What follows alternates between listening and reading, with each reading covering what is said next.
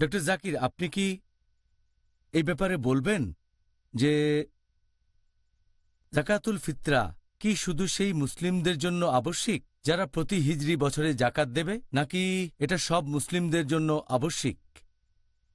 অনেক মুসলিমই এরকম ভাবে যে জাকাতুল ফিতরা দিতে হবে শুধু সেই সব মুসলিমদের যারা জাকাত দেয়। এটা একটা ভুল ধারণা। জাকাত দেওয়া ফরজ শুধু সেই মুসলিমদের জন্য যাদের সঞ্চয়ের পরিমাণ নিসাব লেভেলের উপরে।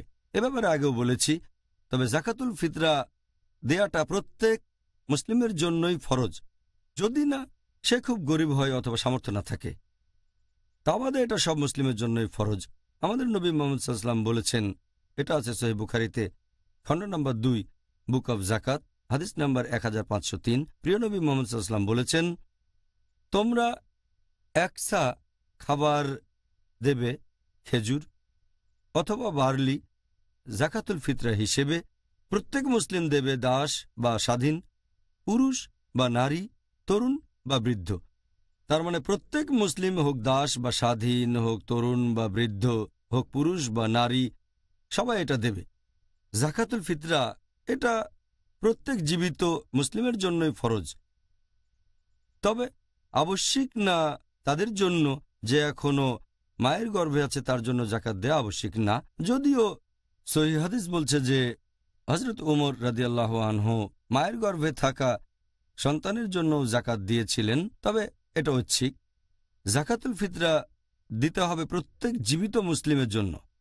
আর এছাড়াও আরেকটা হাদিস প্রিয় নবী মোহাম্মদ সাল্লামের এটা আছে সুনন আল বাইহাক্কিতে খণ্ড নম্বর চার। বুক অব জাকাতুল ফিতরা হাদিস নাম্বার সাত হাজার ছয়শো তিরাশি। প্রিয় নবী মোহাম্মদ সাল্লাম বলেছেন যে, তোমরা জাকাতুল ফিতরা দেবে, তাদের জন্য যারা তোমাদের অধীনে আছে। হোক তরুণ বা বৃদ্ধ, হোক দাস বা স্বাধীন, তার মানে যে একটা পরিবার প্রধান, সে পরিবারের সবার হয়ে জাকাতুল ফিতরা দেবে। যারা আছে তার অধীনে, হতে পারে সন্তান, হতে পারে স্ত্রী, হতে পারে তার বাবা মা এখানে থাকে, সে তার বাবা মার দেখাশোনাও করে, তাহলে বাবা মার পক্ষ থেকে সে জাকাত দেবে। যারা তার অধীনে সবার হয়ে জাকাত দেবে, হতে পারে তারা স্বাধীন অথবা দাস, যদি দাস থাকে, তাহলে দাসের হয়েও জাকাত দিতে হবে। তাহলে যার অধীনে অনেক মানুষ আছে, এটা তার দায়িত্ব যে সে সবার জন্য জাকাতুল ফিতরা দেবে, তাহলে এটা ফরজ প্রত্যেক জীবিত মুসলিমের জন্য। যদি না সে খুব গরিব হয় অথবা খুব অভাবগ্রস্ত, যদি সে লোকের কোনো রকম সামর্থ্য না থাকে জাকাতুল ফিতরা দিতে গেলে তো একটা খরচ আছে। এর চেয়ে কম থাকলে তো সে জাকাত দিতে পারবে না। আর আল্লাহ পবিত্রকরণে বলেছেন, সুরা বাকারা, অধ্যায় নম্বর দুই, আয়াত নম্বর দুশো ছিয়াশি, যে আল্লাহ তাআলা কারও উপরেই তার সাধ্যের অতিরিক্ত বোঝা চাপিয়ে দেন না। এরপর আরও আছে সুরা তাগাবুন, অধ্যায় নম্বর চৌষট্টি, আয়াত নম্বর ষোলো, তোমরা আল্লাহকে যথাসাধ্য ভয় করো। তাহলে কারও যদি জাকাতুল ফিতরা দেওয়ার টাকা না থাকে, যদি তার অর্ধেক থাকে জাকাতুল ফিতরার খরচের মোট অর্ধেক টাকা, তাহলে সেই অর্ধেকটা দান করতে পারে। যদি সেটাও না থাকে, তাহলে তার জন্য ফরজ না। তা আমাদের সব জীবিত মুসলিমের জন্য এটা বাধ্যতামূলক। আমাদের নবী মোহাম্মদ সাল্লাম বলেছেন, এটা আছে সহি বুখারিতে, খণ্ড নম্বর নয়, হাদিস নাম্বার সাত হাজার দুইশো অষ্টআশি। প্রিয়নবী মোহাম্মদ সাল্লাম বলেছেন, যখন আমি কোনো নির্দেশ দেব, তোমরা যথাসাধ্য পালনের চেষ্টা করবে, পুরো সামর্থ্য দিয়ে করার চেষ্টা করবে। আরও একটা হাদিস উল্লেখ করা হয়েছে সহি মুসলিমে। খণ্ড নম্বর দুই বুক অব জাকাত হাদিস নম্বর দুই হাজার একশো সাতচল্লিশ। সেখানে আমাদের নবী মোহাম্মদ সাল্লাম তিনি বলেছেন, একজন দাসকে জাকাতুল ফিতরা বাদে আর কোনো সদকা দিতে হবে না। একজন দাসকে দান করতে হবে না, শুধু জাকাতুল ফিতরা বাদে।